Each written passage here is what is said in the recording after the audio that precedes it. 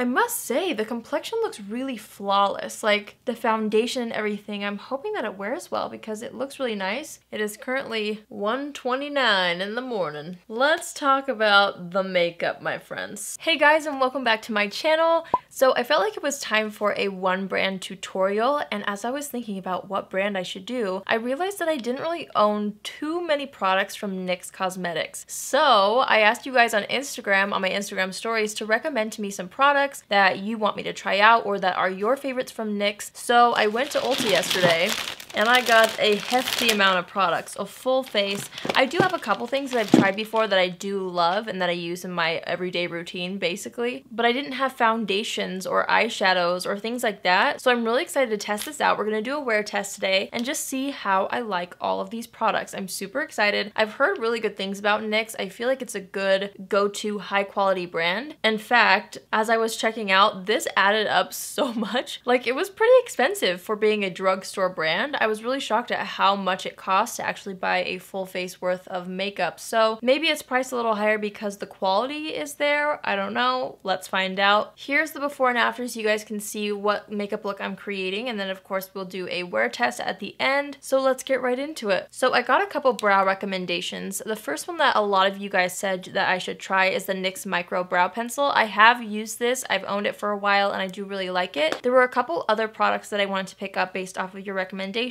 um, the NYX Precision Brow Pencil was one, and then the uh, NYX Control Freak Brow Gel. So that's what we're going to start off with today. I'm going to try this pen. This is the Precision Brow Pencil. Here's what the tip looks like. So it's a little bit more of a flat edge, which I'm excited about actually. And it has a spoolie on the other side. I'm excited about this because usually when brow pencils have shapes like this, you're able to fill in the brows a little bit more quickly than others. So I'm going to start off by filling in the outside of the brow here. I think this is a good shade match for me. I picked ash brown. That's the shade that this is. I'm to brush down the top of the brows and then fill in that top portion. So far I'm really liking how easy it is for me to do a brow with this. The formula is a little bit more waxy than what I personally prefer, but I'm getting a nice result so I can't really complain. I do like that I can brush it through and it makes it look more natural. What do we think of that brow? Not too shabby. I'm to go ahead and do the other brow and then we will move on to the next step. So there's the brow so far using just the Precision Brow Pencil. I think I'm going to go in with the NYX Micro Brow Pencil. This is also in the shade Ash Brown. And I'm just going to use this along the edges to make the brows a little more precise. Alright, so there's the brows so far. Let's move on to eyeshadow. I'm going to do the eyes first because every time I'm using new shadows, I like to do the eyes first just in case there's fallout. You guys recommended the NYX eyeshadow primer. I'm hoping this is the right one. I didn't see multiple options at Ulta, so this is the Proof It Waterproof Eyeshadow Primer. And I don't usually use eyeshadow primers, so it just says apply to eyelids, set and let dry for a bit, and then apply eyeshadow. So I guess you just go go straight in afterwards and apply the eyeshadow? I don't know. Okay, so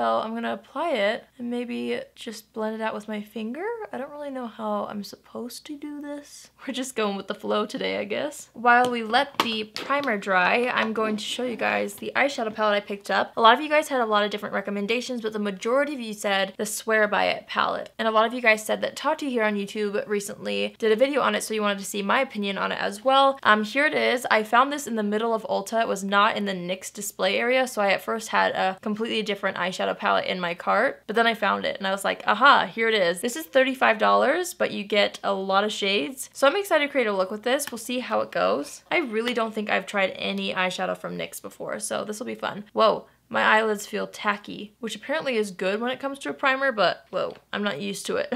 I don't think these have names, they just have numbers. I'm just gonna point to them. I'm gonna use this one right here first, right underneath the brow, because I still see some veins and discoloration, which is why I usually go ahead and use concealer to prep my eyelids because it kind of kills two birds with one stone, but we're gonna try this eyeshadow primer thing. So I'm starting with that at the top of the eyelid, and then, hmm, what kind of look should we do today? I'm kind of of into the blue side of the palette. So let's go into this one right here. This one looks more like a gray. I'm just taking that same brush, tapping off the extra, and I'm gonna start to kind of buff this in the crease area. It looks like a silvery gray blue, and we're gonna use this as our transition shade. So far they're blending really nicely over top of that primer. I'm actually surprised. I always thought that if you didn't set the primer that the eyeshadows would get really patchy, but so far so good. All right, we're going into this shade right here, which is kind of like a cornflower blue. Doesn't it look like that one blue in the Crayola crayon box? That's what I thought. I'm using this to deepen up the outer portion of the eye. So I started the pigment close to the lash line, just kind of pressing it down. And now I'm taking what's left on the brush and kind of just buffing that up toward the crease a little more. And I'm just gonna keep layering that up until I get the right intensity. I'm really intrigued by this color right here. It's kind of a teal, so we'll see how it looks with everything we've got going on now. I'm just gonna take that teal on my finger and start to press it on the inner part of the top lid. So it definitely has more of a green to it, which I like. We're making something a little weird today, but I think it's fun, especially since this palette is so colorful. We might as well do a pretty fun, colorful look. Okay, I'm kind of just playing now, and I felt like this inner corner needed a little bit of green. I took this green right here, and I'm kind of filling out that area in this inner corner right above the teal just to make it look like it blends together a little more seamlessly. I'm going to take the darkest blue in the palette, which I will show you in just a second, and just add that to the very outside of the eye. So this was the dark blue that I just went into. I'm going to take the shade right above it, and I'm going to pop that right here just to kind of add to the whole gradient we have going on, like that. And then I'm going to take this shade right here, just to kind of start to fill in the gap right here in the inner corner. So I think that's good for now. I'm going to go ahead and clean up the under eye area just using a makeup wipe. There actually was not that much fallout considering I was using dark blues. There's a tiny bit, but really nothing crazy. I'm just gonna take my finger and press down on the line to get rid of the harshness. I want it to be kind of more diffused and rounded more than angled. And then so many people, so many of you guys wanted me to try the Epic Ink eyeliner, which I'm excited about because I have yet to find a fabulous drugstore eyeliner. So I'm really excited to see how this works for me.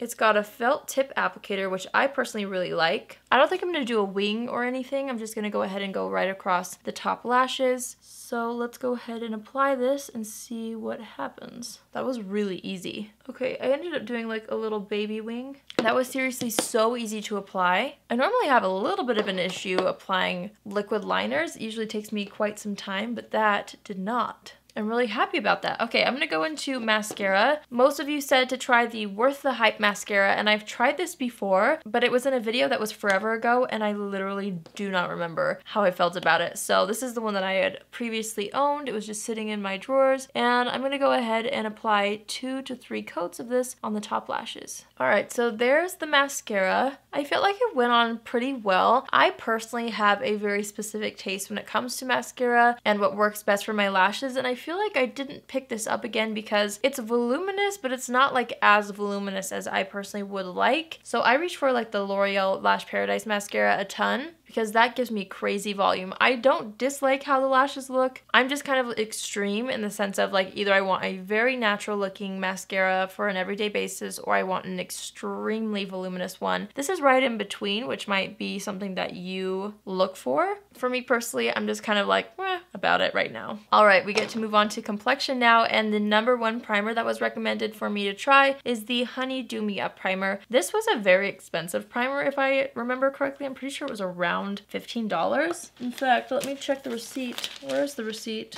Ah. Yeah, it's like $17.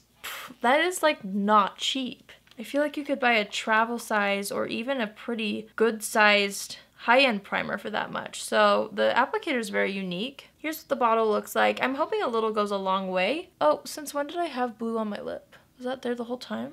Oh dear.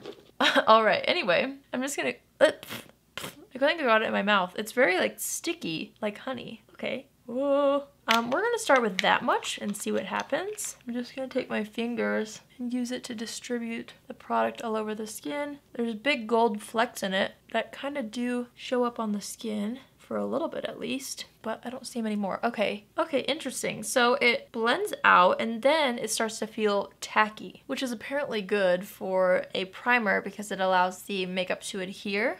Okay, interesting. I'm gonna go ahead and go over the T-Zone with the NYX Angel Veil Primer. This is my current favorite primer at the drugstore. I just like to take a little bit of it and focus it over the nose and a little bit on the chin and between the brows where I have the largest amount of pores. So that's where I like to put it on me. Alright, so for foundation, I picked up the NYX Can't Stop Won't Stop Foundation. Heard so many things about this and also it was the number one requested from you guys for me to try. Some of you guys wanted me to try it because you've tried it and you love it. Some of you just wanted to see what I thought about it. So I'm to give it a shake before I go ahead and go in. And I bought the shade Vanilla. I'm really hoping that it's a good match for me. It seems like it's going to be. Okay, I'm to take my handy dandy Real Techniques buffing brush and I'm to warm this up on the back of my hand first and then kind of put a couple dots on the skin and let's go ahead and blend this out. So what I'm noticing first is it's not as full coverage as I thought it would be initially, which is really good. I think it's a buildable formula though. So I just keep taking little bits off the back of my hand and buffing it out all over the skin and then we might have to build it up a little bit more than I was anticipating. I'm gonna do one more pump on the back of my hand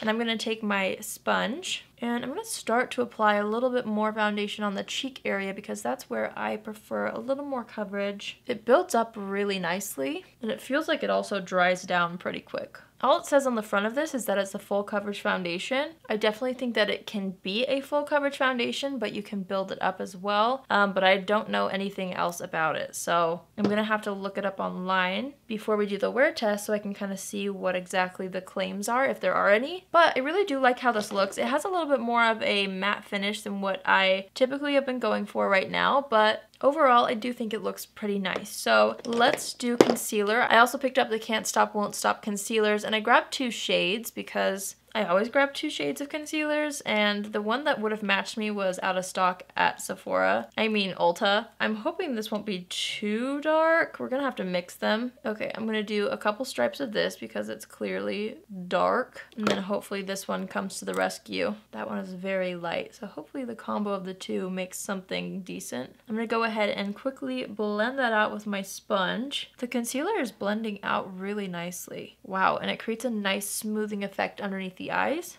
I'm also going to add some concealer, and I do have to mix both shades, but we'll do a little less of the light shade for the blemishes, but I'm adding some over my blemishes as well. I'm just gonna go ahead and blend that out with that exact same sponge. I'm actually very impressed at how this concealer looks under the eyes. It's so smooth, which I really like. It's creasing just a tiny bit underneath my eyes, so I'm gonna press that out before I set it. And then I'm gonna go into my favorite. This is the NYX HD finishing powder in the shade Banana. I take my sponge and directly dip right into this. I've been using this forever. I'm pretty sure that's like my second or third pan that I've gone through. And I like to take that on the sponge and set the under eyes directly with this. It just creates the most flawless under eye area ever. Okay, and to set the rest of the face, I'm going to use the NYX Can't Stop Won't Stop setting powder. I got mine in the shade Light, and I'm hoping it'll be a good shade for the rest of my face. It seems like it'll work, so I'm just going to go ahead and take this and I'm going to take a fluffy brush and set the rest of the face using the Can't Stop Won't Stop powder. That setting powder feels really nice, and I think the shade was a good match too. So far everything is looking really nice and full coverage. My under eyes are feeling a little bit dry, probably from baking using the banana powder and maybe the combo of that and the Can't Stop Won't Stop concealer. I've never tried that concealer obviously, so it's feeling a little dry right now. Usually that goes away, especially by the time I've set the face. But other than that, everything feels really nice. Let's quickly finish up the eye area. Since we did did cool tones on the top lid, I'm to go ahead and try warm tones on the lower lash line. So I'm taking this shade right here. It's kind of like a macaroni and cheese orange. And I'm starting to apply that on the lower lash line, focusing it kind of on the inner portion because I think I might want to still have a little bit of blue coming down. And then let's take this shade right here, which is a very pretty bright red. Wow, it's like a purple red. On that same brush, and I'm to kind of go from the blue into the orange to create kind of a gradient from those two colors and make them blend into each other a little bit. And then I'm going to take the darkest blue in the palette and just go ahead and run a tiny bit of that along the outside of the lower lash line just so that it combines the entire look and helps it look more cohesive. And then I'm just to take this peachy shade right here. It's very light. You might not even be able to see it. And I'm to run that really low across the lower lash line to add a little more of a definition along that area. And then I think I'm just to go right into mascara on the lower lashes. I'm to take that same Worth the Hype mascara and just pop it on those lower lashes. I'm just to go ahead and brush my brows up really quickly because I feel like at this stage in my makeup routine, if I've done my brows first, the brows can look a little weird. All right, I am dying to put some warmth onto the skin. So many of you guys said that this contour palette was good, so I picked it up naturally. It's just the NYX Highlight and Contour Pro palette. I'm hoping that's the one that you were all talking about. Because there was also a cream contour kit, but I'm pretty sure most of you guys wanted me to try the powder ones, so. Here's what it looks like. We've got some good contour shades here at the bottom and then some highlight shades. I'm going to mostly use the contour shades and I think I'm going to start by dipping into this third one right here and maybe a little into the second. So I'm just going to mix a couple and let's start to contour slash bronze the skin. I like to take the contour and go along the hairline. I feel like that just looks really natural. I'm also taking it along the jawline and a little down the neck. And anytime I feel like the bronzer isn't blending the way I want it to, I always take whatever brush I used with the translucent powder or setting powder. I don't know if the one I used today was translucent necessarily, but I just take it and buff it over top of everything. And I really feel like that helps blend it all out. I'm also just going to pinch the brush and run that down the sides of the nose as well as underneath the nose and under the lip. Since we have this out, I'm going to take the banana shade and this lighter pink shade, just kind of mix the two. And I'm going to go ahead and further brighten the under eye area with this. Maybe a little bit on the chin. And let's put some on the center of the forehead. Alright, so I feel like that blended out really nicely. I don't always use contour palettes just because I feel like I normally just use one bronzer. And I use that to contour and warm up the face, but that looked really nice. And I felt like it was kind of fun to dip into different colors and customize certain areas of the face, making some a little warmer, making some a little more cool tone, depending on what I wanted the final look to look like. So let's go into blush. Nobody really recommended blushes, but I remembered one of you had said something about the ombre blushes in the past, and I actually picked one up, and I wanted to pick up the peach version of that. I think I have like the mauve version, so I wanted to buy this one. Ooh, look how pretty that is. I've been so into peach blushes again. I'm to take the blush kind of near the top because I am pretty fair. And I'm just going to kind of dust that on the apples of the cheeks and we'll just build it up as we go. It's so pretty. Ooh, and I love how it complements the eye look. I'm a little nervous at how the lip color is going to look with this because I realized there was like specific shades that you guys recommended. So I picked them up, but I didn't really take into consideration what my eye look was going to be today. So hopefully it all works out. All right, I really love that blush color. So many of you wanted me to try the NYX Born to Glow highlighting palette. To be honest, looking at this, I'm not sure if there are that many shades that I can wear. See, I think I'm gonna have to use like the top two shades but we're just gonna make it work. I think I actually am going to mix these two. I have quite a bit of texture on my cheeks right now, so this could really emphasize that, but we're just gonna do it anyway for the video. I'm gonna go around the cheeks in a C shape. Oh, darn it, I just really highlighted that spot. oh well. I'm gonna take some down the center of the nose, cupid's bow. I'm gonna go across the brow too to give that a little bit of a highlight there. All right, so that's pretty frosty looking. I'm gonna take my translucent powder brush and just lightly buff over that. It emphasizes my texture because it's kind of more of a um, chunkier highlight. Once it's applied, I feel like you can really see the texture on my face. I'm hoping that when I set the face, it might kind of go down a little bit. So we will uh, reassess when we get to that part of the makeup. All right, let's go ahead and do lips. I'm gonna wipe off any foundation that's on the lips. And there was a very specific lip liner color that was recommended. The NYX Suede Matte Lip Liner in the shade Sandstorm. So this is the lip liner we're gonna wear today. Again, I'm hoping that uh, it all works with my eye look. oh, it seems like it's just gonna be a really nice nude. I'm just gonna go ahead and line and fill in the lips with this. That really is such a pretty shade. Look at that. I love it. And then the NYX Soft Matte Lip Cream in the shade Stockholm was recommended. I don't think I have this. I know I have London. Maybe I have Stockholm? Well, if I do, I'm just opening another one. I don't think I do. Anyway, this was recommended by one of you guys. So we're going to wear it. So it's a little bit more pink than the lip liner, but I think it'll go really well actually with this eye look. I love the formula of these soft matte lip creams. They're so good. And that color is beautiful. I just felt like my lower lash line needed a little more color, like a yellow or something. So I'm adding some just underneath the existing shadows. I feel like that looks a little bit better. And if you're wondering, I went into this yellow right here. All right, let's set the face. So many of you guys said the NYX Dewy I keep dropping stuff, honestly. So many of you guys said the NYX Dewy Finish Setting Spray. A lot of you also said the matte setting spray was good, but most of you said the dewy one, so that's what I picked up. And I'm interested to see how it wears throughout the day because we did a dewy primer, a matte foundation, and then we'll do a dewy finish. So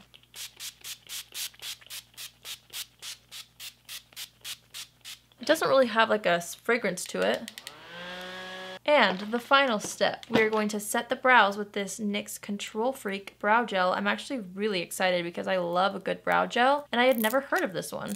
Ooh, it's got quite the wand. It's like a mascara. And let's set the brows with this. Alright, so we are finally done with the makeup look. That took a while. I feel like it usually does take me a little longer when I'm trying new things because I really do try to figure out exactly how they work. I really like this look, you guys. It's really fun and really colorful. So let's do a wear test and then we will come back, see how everything wore throughout the day, and then I'll share with you my final thoughts based off of my first impressions at the end of the video. So it is currently 4.08 p.m. I'm to try to wear this for a solid 8 hours. I must say, the complexion looks really flawless. Like, the foundation and everything, I'm hoping that it wears well because it looks really nice. I'm still iffy about this uh, highlighter. I feel like it's a little too chunky for my personal taste, but I like a really subtle highlight. So I could see how a lot of people would like this kind of a highlighter. Anyway, I'll check back in in a little bit and we will see how the makeup held up. All right, I am back it is currently 1.29 in the morning. Let's talk about the makeup, my friends. Some parts of my face I'm impressed by, some I'm not so impressed by. The first thing I noticed throughout the entire day is how oily my forehead got today. Almost like an hour after applying the foundation, it started to get oily here, which is normal for me, but my whole forehead is so greasy, but it's so weird because the rest of my face, on my cheeks and everything, everything and even my chin is not that oily. So that's something that I noticed right away. The eyeshadows remained pretty pigmented. As you can see, it creased a little bit in the crease of my eyelid, which is normal for me. But the eyeshadow lasted a pretty long time. The um, eyeliner seems like it lasted pretty well as well. There's been a tiny bit of flaking from the mascara underneath the eyes. The foundation stayed on my face for the most part. It rubbed off around my nose nose, which tends to happen. It got a little weird around my nose here, and it really sunk into the smile lines in a way that I haven't seen my foundations sink into my smile lines in a long time. And I did not touch up the lip. It kind of faded. My lips feel kind of dry actually right now. So this is what it looks like after nine hours of wear. So the thing that I don't always like about doing full faces of first impressions is that I don't always know what the problem was, especially with complexion. Was it the dewy primer? Was it the dewy setting spray? Spray? Was it the foundation, the concealer? Like, what went wrong here? Especially in the forehead area, it could easily be just the primer. I don't really know. Sometimes mattifying foundations also make my face look more oily, actually. It tends to happen to me, so that could also be a part of the problem. But let's go through all the products that we tried today. I'll share with you guys what I'm most excited about right now, and then also the things that maybe I wouldn't pick up, or, well, I already picked it up, so I guess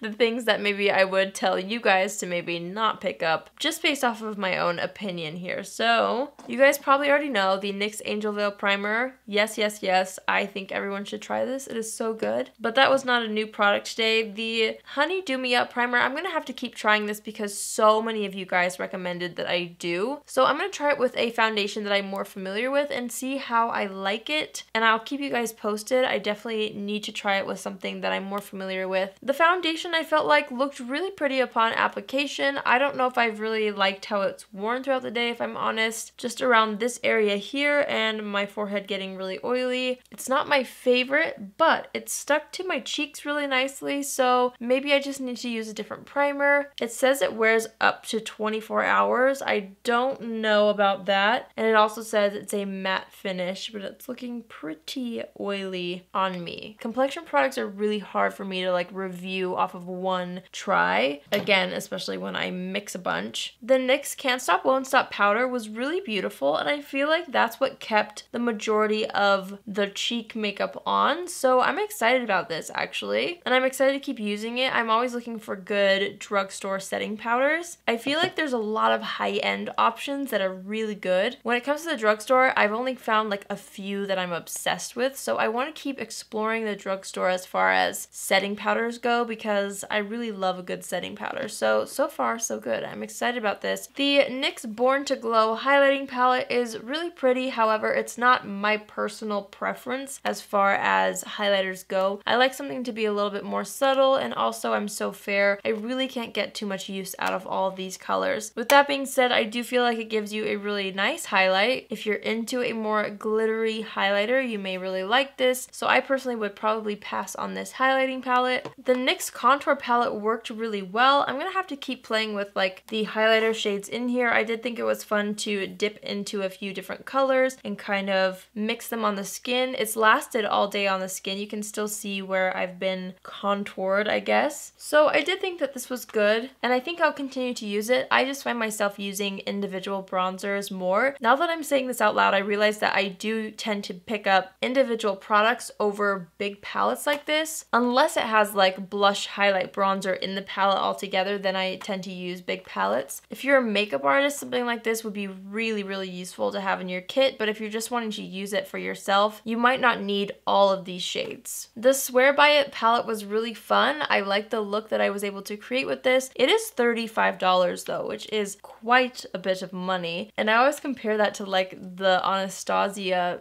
eyeshadow palettes. I know you don't get as many shades. You only get 12 shades, I guess, in the Anastasia palettes, and those are $42. So sometimes I just wonder, like, which one is worth it? Which one is better? Like, do you spend a few more dollars to get an Anastasia eyeshadow palette, which is incredible quality, or do you spend 35 on more shades that might not be as good of quality? These are really good quality. They blended out on my eyes. I really did like this palette, and I really loved the colors in it but $35 kind of surprised me at the drugstore. Like 35 is starting to get up there and starting to compete with high-end prices in my opinion. With that being said, I'm excited to dip into this. I'm excited to keep playing with it. I just don't know if it's something that I would say you would need to run out and spend $35 on right now unless of course you were super inspired by it and you were really interested in it. I'm excited though to play around with some of these metallics. I didn't really get to dip into too many of them. Ooh, there's some really pretty colors in here. If you're into it and if you've purchased it, let me know because I can definitely do more looks with it if you guys want to see that, but I'm kind of curious to hear what you guys think about this and the price point. Okay, the blush was beautiful. It lasted on my skin all day. I'm super excited about this blush. I'm obsessed with the color of it. I think it's so beautiful. Very excited about that. I think my favorite thing was the